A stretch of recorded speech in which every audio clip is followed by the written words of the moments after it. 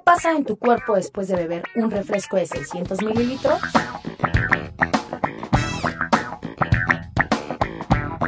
A los 10 minutos, 10 cucharadas de azúcar entran a tu sistema.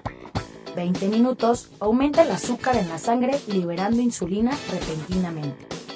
40 minutos, la absorción de cafeína se completa, tus pupilas se dilatan, la presión aumenta y como respuesta de tu hígado libera azúcar en la sangre.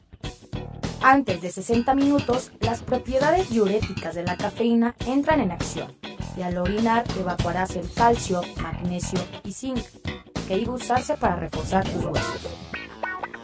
A todo este proceso, multiplícalo por todas las veces que tomas un solo refresco de 600 mililitros.